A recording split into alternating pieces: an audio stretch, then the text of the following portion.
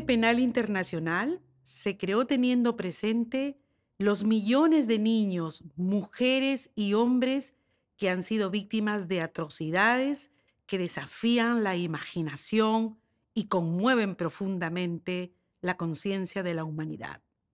Es el primer tribunal penal internacional de carácter permanente, con vocación de universalidad, y nació con un objetivo tripartito. Primero, ponerle fin a la impunidad por los crímenes más graves de trascendencia para la comunidad internacional. Dos, brindarles voz a las víctimas y otorgarles acceso a la justicia. Y tres, contribuir a la prevención de los crímenes futuros. La Corte Penal Internacional investiga, enjuicia y eventualmente condena a los individuos por crímenes internacionales graves, tales como el genocidio, crímenes de guerra, crímenes de lesa humanidad y el crimen de agresión, los cuales constituyen a la vez graves violaciones a los derechos humanos. Para ello conduce procesos legales, justos e imparciales, en los que las opiniones y observaciones de las víctimas de estos graves crímenes son oídas y valoradas. El establecimiento de un Tribunal Penal Internacional ha sido uno de los grandes logros de la comunidad internacional y de la justicia penal internacional. Y es, en efecto, el resultado de un largo camino.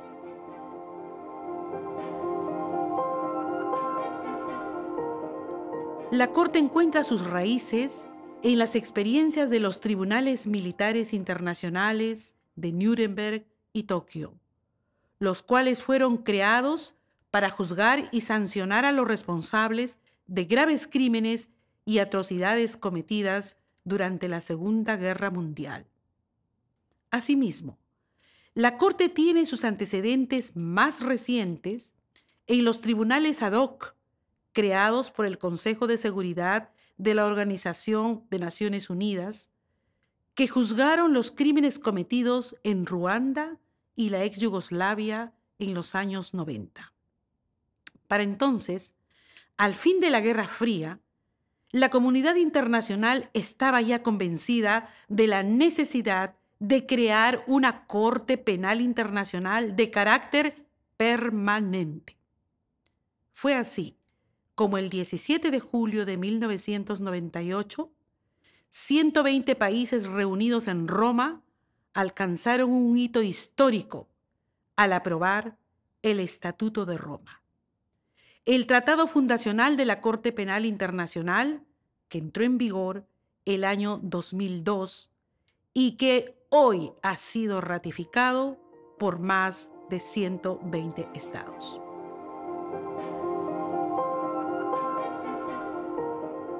El estatuto establece los parámetros de la competencia de la Corte. La competencia material, territorial, la personal y la temporal. Estos cuatro criterios deben presentarse de manera conjunta para que un caso pueda ser sometido a la jurisdicción de la Corte Penal Internacional.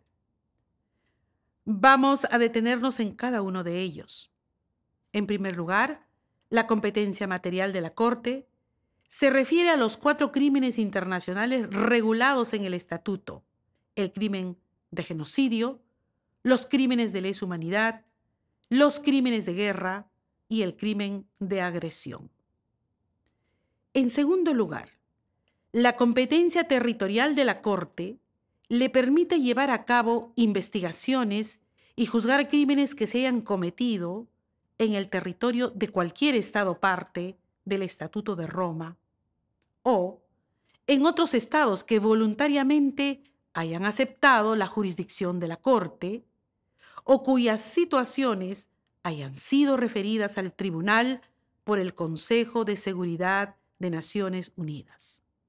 La Corte puede también juzgar crímenes cometidos por nacionales de estados parte o de estados que hayan voluntariamente aceptado la competencia de la Corte.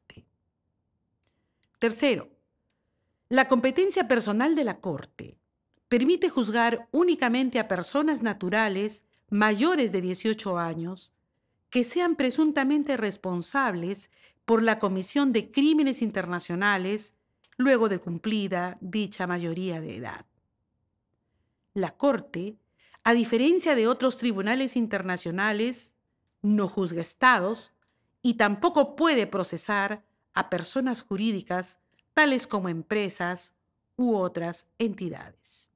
Por último, la competencia temporal de la Corte permite activar su jurisdicción en relación a crímenes cometidos después de la entrada en vigor del Estatuto de Roma, esto es, después del 1 de julio del año 2002, para los crímenes de genocidio, guerra y lesa humanidad, y después del 17 de julio del año 2018, para el crimen de agresión, o a partir del momento de ratificación si la fecha de esta fue posterior. Es muy importante señalar que la Corte no prevalece sobre los sistemas de justicia nacionales, sino que los complementa y es, en esa medida, un tribunal de último recurso. Son los estados los que tienen en primer lugar la responsabilidad de investigar, juzgar y sancionar estos graves crímenes internacionales. Y por ello, la jurisdicción de la Corte solo puede activarse cuando el Estado o bien no está dispuesto a cumplir con tal obligación o no puede realmente hacerlo. La Corte es única en varios sentidos. Como parte de su mandato, la Corte busca no solo juzgar y sancionar a los responsables de los crímenes más graves, sino asegurar también que las voces de las víctimas puedan ser finalmente escuchadas y tomadas en cuenta en los procesos judiciales tendientes a impartir justicia. Para ello, la Corte garantiza, entre otras cosas, la participación de las víctimas en todas las etapas de los procesos judiciales, velando porque su seguridad e integridad física y psicológica se vean protegidas a lo largo de todo el proceso. De igual manera, la Corte mantiene un contacto directo con las comunidades afectadas por los crímenes bajo su jurisdicción a través de sus programas de información y sensibilización, fomentando de este modo, un sentido de participación en los procesos y una sensación de justicia.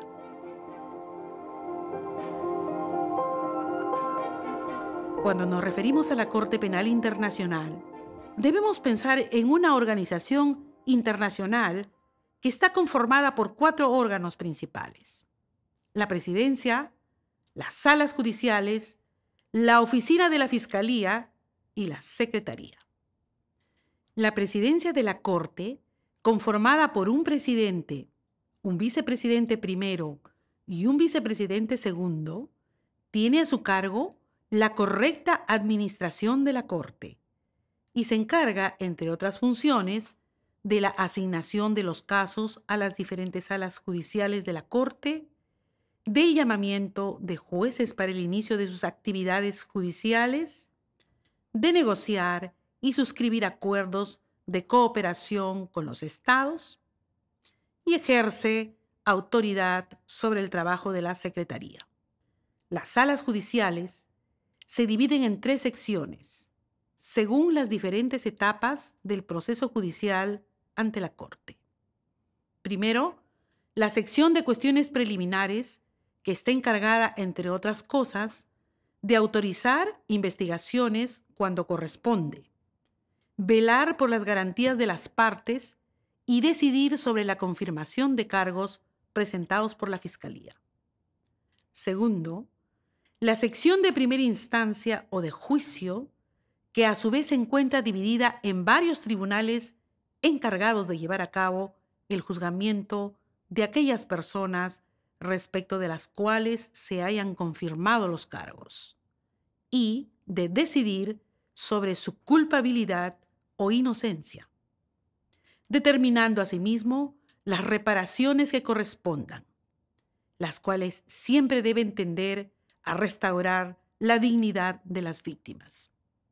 Y tercero, la sección de apelaciones, conformada por cinco jueces y cuya función es revisar decisiones y sentencias cuestionadas por las partes, siendo esta la sala de última instancia de la Corte Penal Internacional. Los 18 jueces que integran la Corte Penal Internacional son elegidos por un periodo de nueve años y son distribuidos en cada una de las salas que conforman dichas divisiones. Y son ellos quienes ejercen de manera imparcial e independiente la esencial tarea de impartir justicia y velar porque los procesos sean conducidos de manera justa y en observancia del debido proceso legal y las garantías y derechos de todas las partes y participantes. La oficina de la Fiscalía funciona como un órgano independiente y separado de la Corte. La Fiscalía recibe informaciones y comunicaciones sobre la base de las cuales examina si la Corte podría ejercer su jurisdicción sobre crímenes internacionales presuntamente cometidos. Sobre la base de este análisis, la Fiscalía puede abrir investigaciones, en algunos supuestos con previa autorización de la Sala de Cuestiones Preliminares, y, posteriormente, ejercitar la acción penal contra individuos sospechosos para que sean juzgados y eventualmente sancionados por la Corte. La oficina de la Secretaría es la responsable de todos los aspectos no judiciales de la administración y servicios de la Corte. Así, el trabajo de la Secretaría es fundamental para garantizar, entre otras cosas, la eficiencia de los servicios de la Corte, encargándose, por ejemplo, de la seguridad de testigos y víctimas, la disponibilidad de intérpretes durante los procesos de la Corte, el acceso a abogados por parte de los individuos procesados, el desarrollo de las actividades de difusión del trabajo de la Corte entre las comunidades afectadas, etc. El Estatuto de Roma creó también dos órganos adicionales, la Asamblea de Estados Partes y el Fondo Fiduciario en beneficio de las víctimas. La Asamblea está integrada por todos los Estados partes del Estatuto de Roma y funciona a través de sus delegados como un órgano legislativo de la Corte, encargado en primer lugar de la elección de jueces entre los candidatos presentados por los estados parte, los cuales poseen las más altas calificaciones técnicas y los más altos estándares morales. También aprueba el presupuesto de la Corte, está a cargo de la revisión y eventual enmienda del marco legal del Estatuto de Roma, entre otras funciones. Por su lado, el fondo fiduciario tiene dos funciones, una asistencial y otra en el marco de las reparaciones. Conforme a la primera, brinda asistencia a las víctimas de crímenes cometidos en territorios donde la Corte lleva a cabo investigaciones a fin de que puedan sobrellevar las consecuencias de los crímenes sufridos bajo su segunda función, implementa reparaciones ejecutando las órdenes contenidas en las sentencias emitidas por los jueces de la Corte. La implementación de las órdenes de la Corte depende en gran medida del apoyo y la cooperación de los estados y la comunidad internacional en su conjunto, para cumplir de manera efectiva con su mandato. Recordemos que la Corte, a diferencia de los sistemas nacionales de justicia, no cuenta, por ejemplo, con sus propias fuerzas policiales para ejecutar sus órdenes de detención o con un territorio propio donde víctimas y testigos en riesgo puedan ser reubicados. Por este motivo, la colaboración de los estados es esencial para asegurar que los objetivos que motivaron la adopción del estatuto puedan ser alcanzados. En conclusión, el sistema de justicia puesto en marcha con la adopción del Estatuto de Roma y la creación de la Corte Penal Internacional brinda esperanza a la humanidad, no solo de sancionar a los responsables de crímenes atroces y hacer justicia a las víctimas de tan graves violaciones a sus derechos humanos, sino también de prevenir que dichos crímenes vuelvan a tener lugar, sentando así las bases para una paz estable y duradera. Me gustaría finalizar citando a uno de los pioneros del derecho internacional, el fallecido profesor Basciuni, en su discurso en la ceremonia inaugural de la aprobación del Estatuto de Roma en julio de 1998. Allí dijo, la Corte Penal Internacional no será la panacea para todos los males de la humanidad, no eliminará los conflictos, no le devolverá la vida a las víctimas, ni restaurará a los sobrevivientes sus antiguas condiciones de bienestar, ni llevará a todos los autores de los grandes crímenes a la justicia. Pero, ¿puede ayudar a evitar algunos conflictos, a prevenir algunas victimizaciones y a llevar a la justicia a algunos de los autores de estos crímenes? Haciendo esto, la Corte fortalecerá el orden mundial y contribuirá a la paz y seguridad mundiales. En última instancia, si la Corte Penal Internacional salva una sola vida, será como si salvara a toda la humanidad.